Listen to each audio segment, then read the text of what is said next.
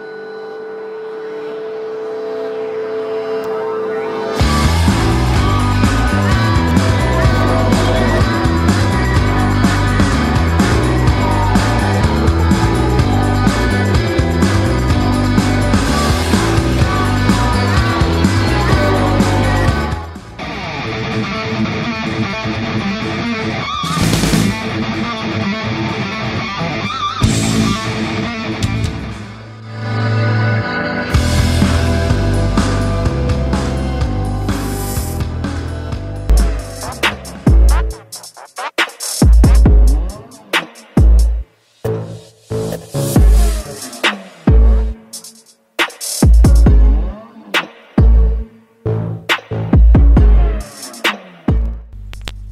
Pertandingan antara PSM Makassar versus Bali United yang rencananya akan digelar Senin 7 Februari besok diprediksi akan berlangsung sengit.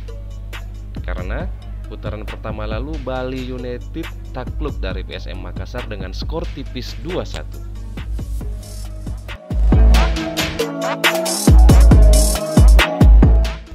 Di balik kekalahan itu, di akhir putaran pertama BRI Liga 1, Bali United tampil dengan catatan impresif dengan menyapu bersih 5 laga terakhir dengan kemenangan. Sedangkan PSM Makassar saat ini berada di posisi papan tengah dengan koleksi 27 poin. Dengan menurunkan skuad terbaiknya, Laskar pasukan Tridatu berambisi membayar kekalahan pada leg pertama lalu. Dengan modal kemenangan 3-0 atas Persikabo, Leonard Tupamahu dan kawan-kawan percaya diri akan mampu meredam permainan pasukan Ramang. Dan yang pastinya merebut poin penuh pada laga esok hari.